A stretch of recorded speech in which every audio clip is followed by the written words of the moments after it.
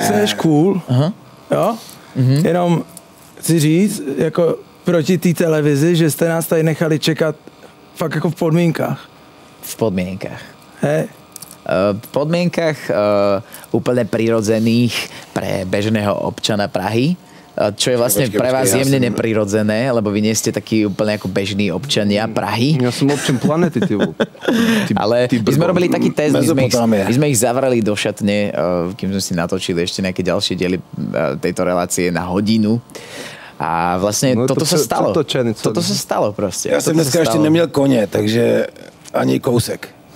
Takže jsem, jako, t- t- jsem trošku nasanej. Aha. A já jsem jinak, jako ještě toho pořádku